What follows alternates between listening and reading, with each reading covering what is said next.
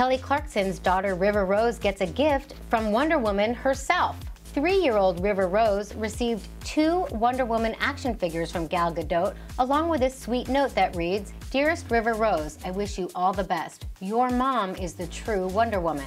Kelly grabbed the sweet gift with a beaming River Rose, captioning the shot, Thank you so much, Gal Gadot, for the awesome presents for River Rose. She loves them. You've made a little girl very happy. Hashtag Gal Gadot for the win.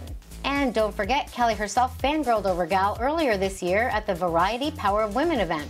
It is nice to have like this, you know, bold, you know, female figure for your girls. Cause like once she saw the little girl in Wonder Woman, like, you know, learning how to fight and like defend herself and all that, like she loved it. She started acting it out. And I couldn't have been more proud because you're a little proud because you're like, oh, you're cute in the bell dress. But you're more proud when she's like, like in the corner.